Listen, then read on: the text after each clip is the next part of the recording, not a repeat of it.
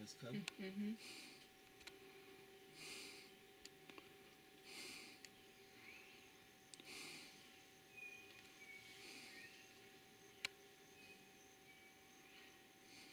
So they don't have a thumb.